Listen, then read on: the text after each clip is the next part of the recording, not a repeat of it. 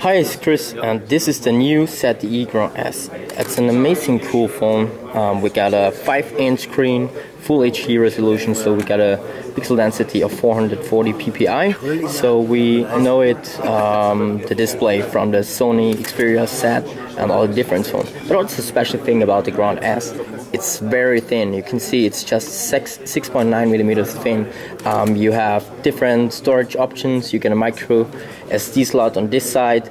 Um, here is the volume rocker. On the top is the audio jack, on-off button, and then we have here a dock connector. So maybe there will be a dock for a car or whatever.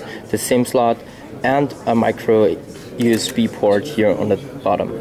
Um, it's running Android Jelly Bean in version 4.1 so uh, as you can see it's running very fast here we got 2 gigs of RAM um, LTE for sure and it's coming with latest Qualcomm Snapdragon S4 Pro clocked at 1.7 gigahertz so it's um, 200 megahertz faster or higher clock than other phones with this CPU so th that's a very good looking phone. And we also have a vari variety of colors. As you can see here we got a pink one uh, kind of green or a black one and also a pretty nice red one. So we also have different surfaces. So this one is glossy. We have a matte one. So this is my um, choice and so it's a very good looking phone and makes uh, good.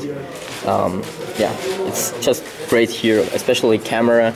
There are a lot of details in it. And it should come to in the to China in the end of Q1 and into the US around uh, Q2 in the beginning of Q2 so that's it. I say thank you for watching and see you next time